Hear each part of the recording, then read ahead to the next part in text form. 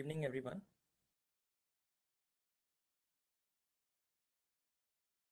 Uh, we have gathered here uh, to celebrate the inauguration of our flagship event, uh, Overflow.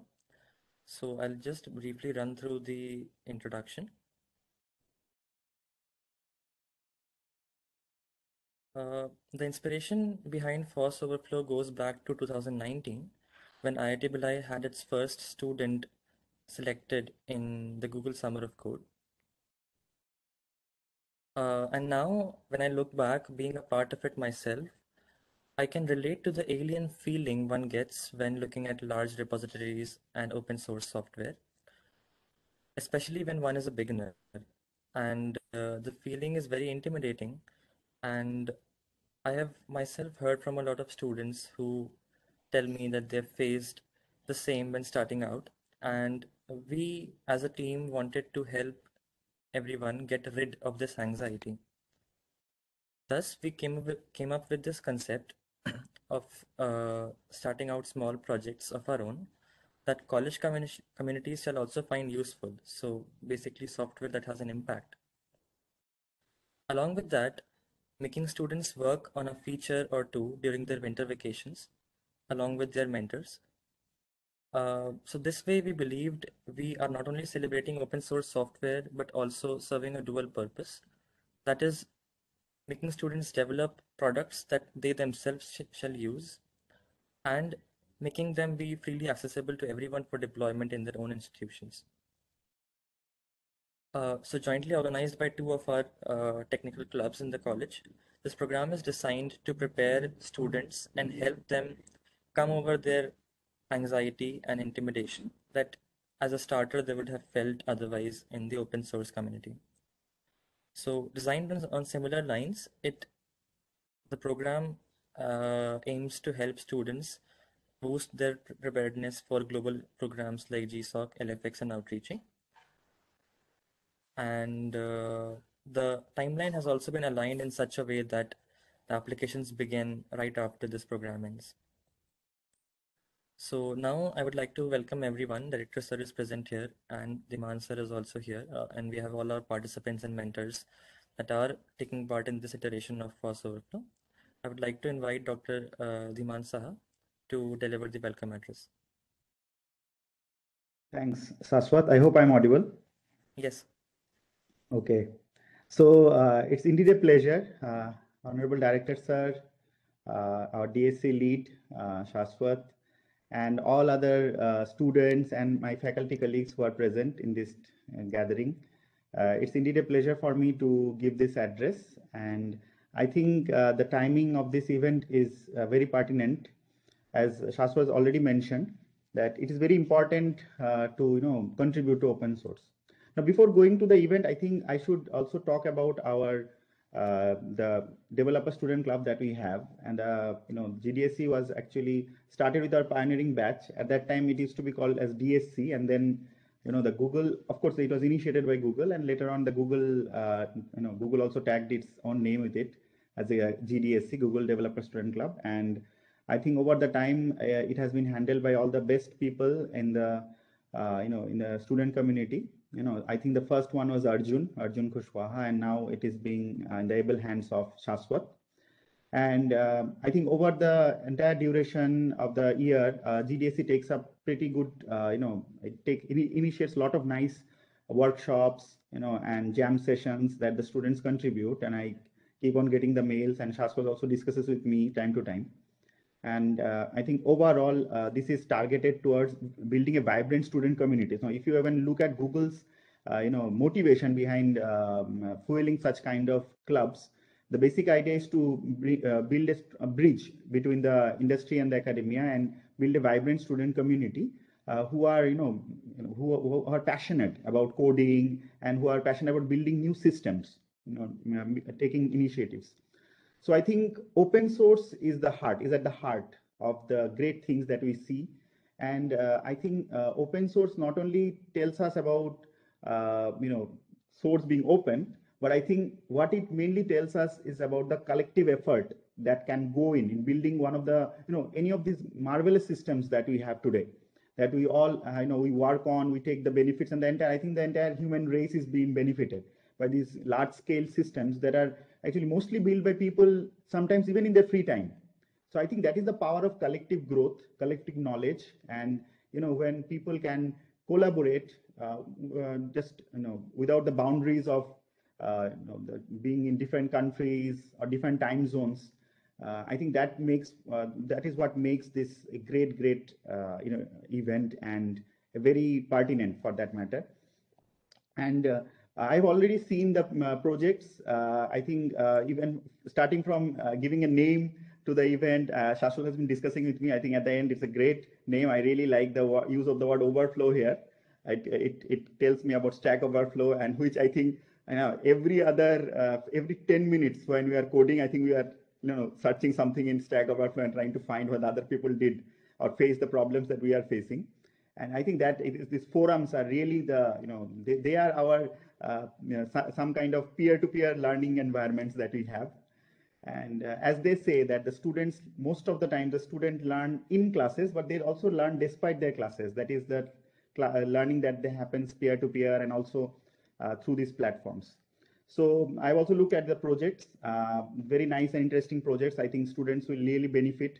And uh, I must say the mentors, all the mentors are really, you know, they have great profiles. I, have seen uh, all the projects.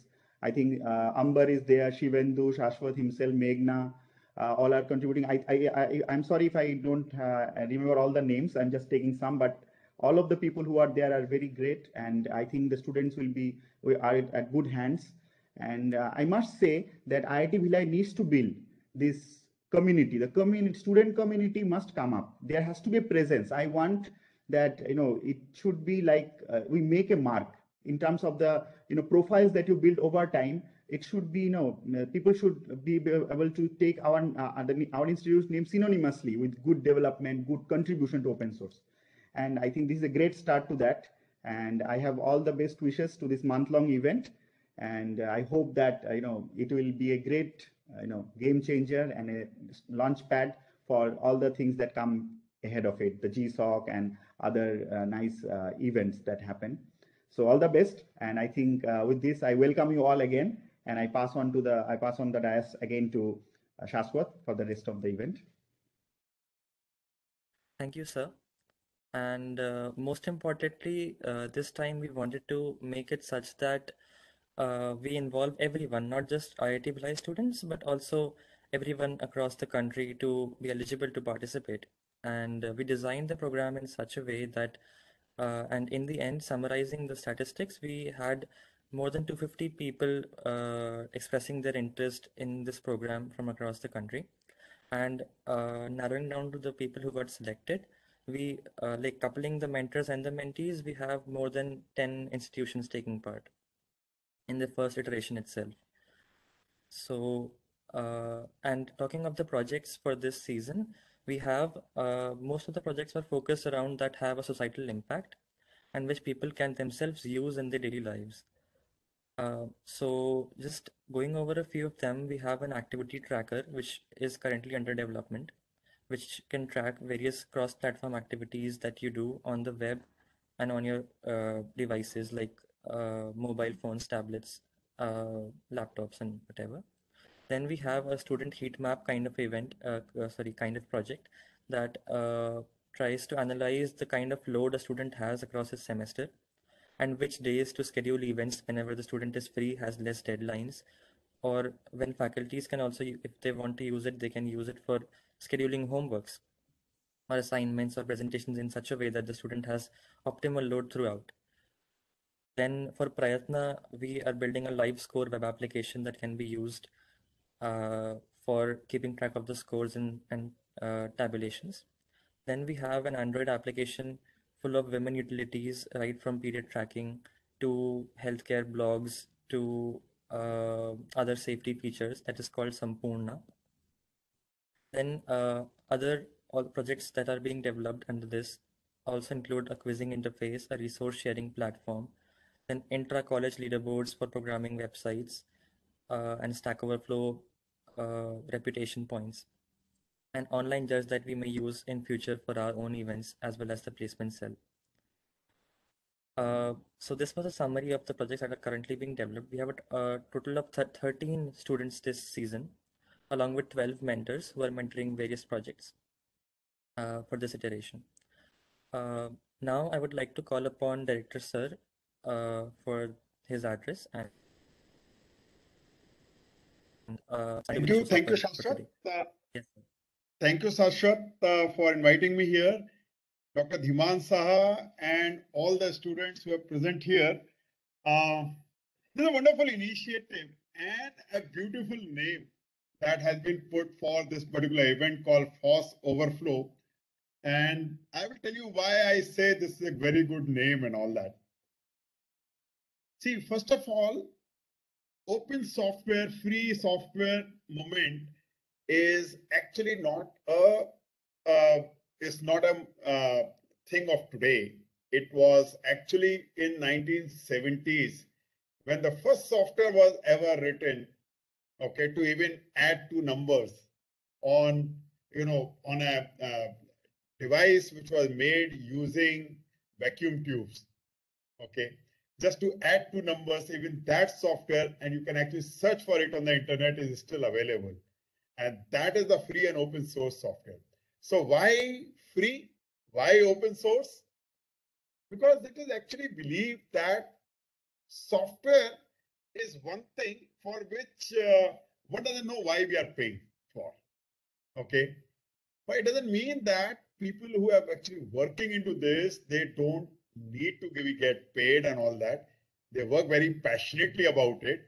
But that passion and that output is far much better evaluated by the community to say, yes, this software has worked very well.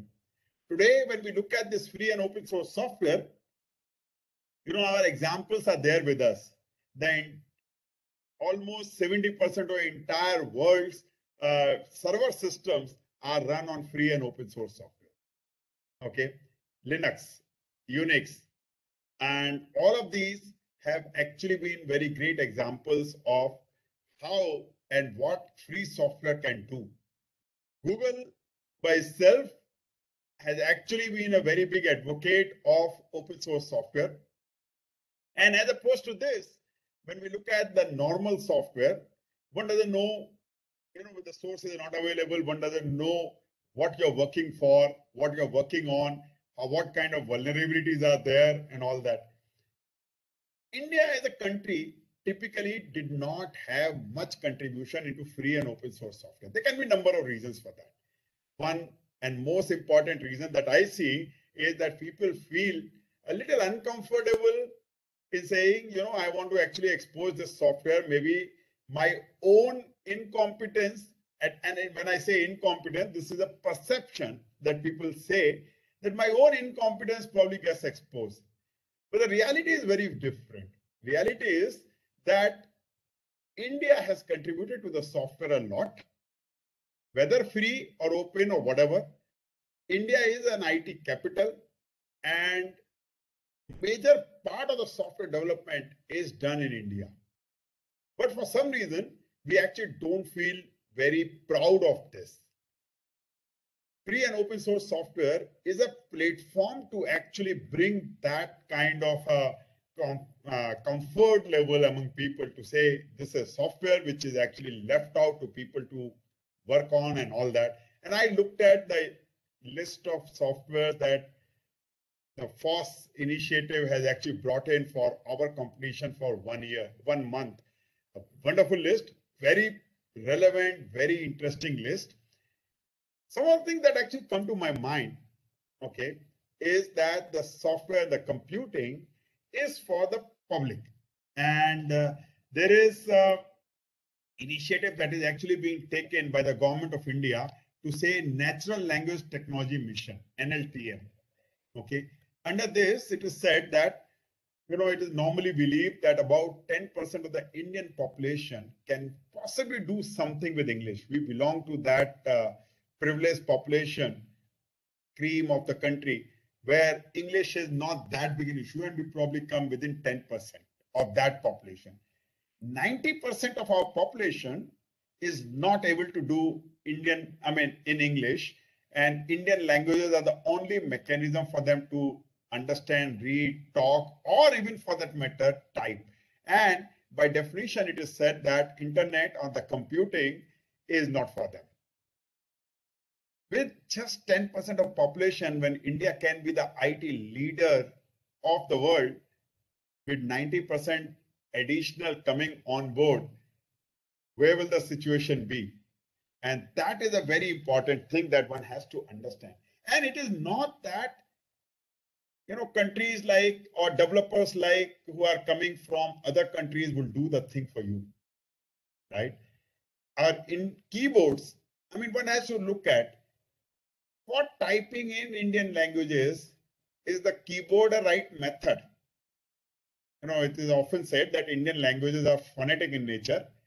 Maybe keyboard is not the right technology as opposed to English and Western languages, which are linear in nature, which are actually created by juxtaposition of glyphs. Okay, maybe for us, it is a phonetic thing. Voice is the right input, right? Like, for example, for Japanese and Chinese, it is pictograms and it is drawing on the screen is probably the right input and people actually do that. Okay, so maybe for us, it is important to actually bring voice as an input.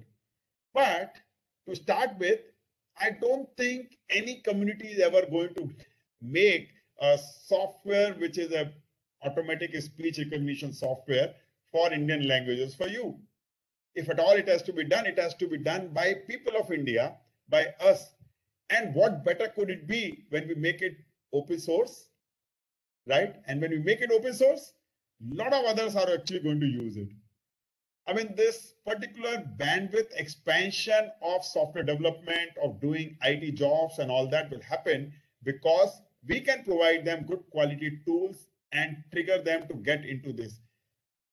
This is the momentum that we need to bring. India traditionally did not contribute much into FOSS. Can we actually take this generation and get into real contribution to FOSS for us, for ourselves, by us, by? You know, for, for our community. And I think that's a big, big message. That's a big challenge that lies ahead of us. The student community traditionally has done a major contribution into FOSS all over the world. In fact, Linus Torvalds was one, one person who actually developed the entire Linux from scratch while being the student. Okay, and today that Linux is there everywhere in everybody's laptop, in everybody's mobile, you know, when you call Android or whatever. Now that's a big momentum. That's the power that one can actually get out of free and open source software. So without taking much time, I wish uh, entire team all the best for initiating into free and open source software, developing the software with the engineering in mind so that others can also use it. And this is going to be a huge learning exercise and potentially we will have one or two such software which can change the world in time to come. Thank you very much for inviting me here and all the best for everybody. Yeah, thank you so much, sir. Uh, this is uh, an event that we are planning to have every year and this being the first iteration, uh, the projects are rather new to everyone. But as the years pass, both the organizers as well as the projects will mature over time. And uh, we'll be expanding the bandwidth of our acceptance and everything. So without taking much time now, uh, we are nearing the end of today. And uh, first of all, I'd like to thank our most revered director, sir, Professor Rajat Moona, for accepting my request to join this little endeavor and also for being our inspiration and guiding force behind all our achievements.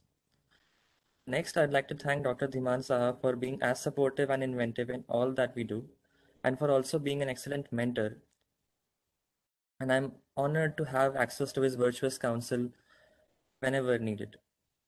Lastly, I would like to thank all the mentors and students for joining today and for being part of and supporting this initiative that we have endeavored, and I believe with all your support, it shall definitely be huge in the years to come. With that, uh, with this, I'd like to close this session for today.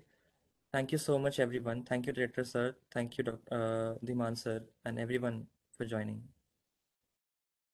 Thank you. Thank you. Thank you, sir.